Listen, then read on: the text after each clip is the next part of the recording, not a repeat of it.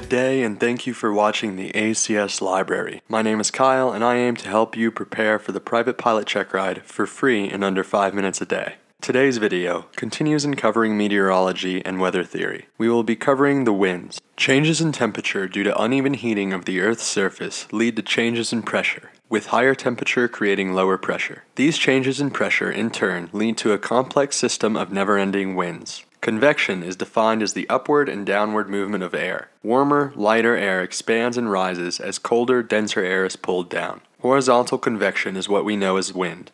There are three forces affecting the direction and speed of wind. They are pressure gradient force, or PGF, Coriolis force, and friction. We will use a surface analysis chart to explain and present these concepts. I've provided a link explaining how to read a surface analysis chart in the video description in case you've never seen one. Pressure always moves from areas of high pressure to low pressure. Because of this, there's a force known as pressure gradient force which travels perpendicularly across isobars from high to low pressure areas. If this were the only force in effect, then the colder, denser air of the poles would be carried towards the equator, heat up, rise, and be pushed back to the poles, creating two huge circulating convective currents. Because of the rotation of the Earth, an effect known as Coriolis force deflects winds in the northern hemisphere to the right and in the southern hemisphere to the left. Coriolis force increases as one travels towards the poles. If only PGF and Coriolis force existed, winds would travel parallel to isobars, with the lower pressure to the left and high pressure to the right.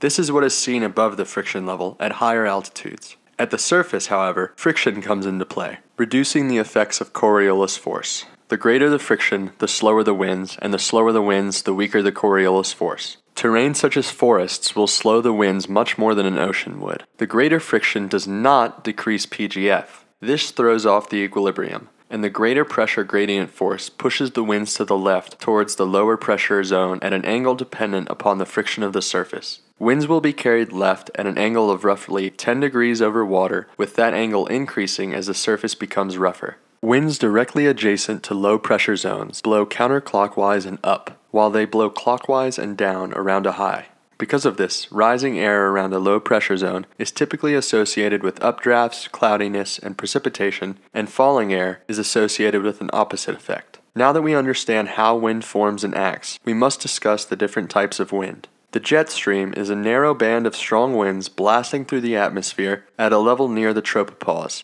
Valley winds form in valleys as the air near the surface cools, falling into the valley, pushing the warmer air up the slopes. Mountain winds are the opposite of valley winds, really. As the surface of a mountain is cooled, the cold air cascades down the mountain face like a waterfall. Katabatic wind describes any wind being carried down a slope as a result of the incline. Mountain winds would fall under this category. A land breeze occurs at night when cooler air from the land flows toward the sea, and a sea breeze occurs during the day as the cooler air from the water returns to land. Wind shear occurs when air currents of differing velocities create friction or shear between them. Inside the shear zone is a nasty mix of eddies and whirls. Avoid this stuff if at all possible. This concludes today's video over winds. I hope that it's been helpful. As always, thank you for watching. If you've enjoyed the video, I hope that you may like it or share it along to someone else who may benefit. If you're new to my channel, don't forget to subscribe, and make sure the bell to the right of the subscribe button is activated so you'll get notifications about future videos. Feedback in the comments or messages is always greatly appreciated. Thanks again and safe flying.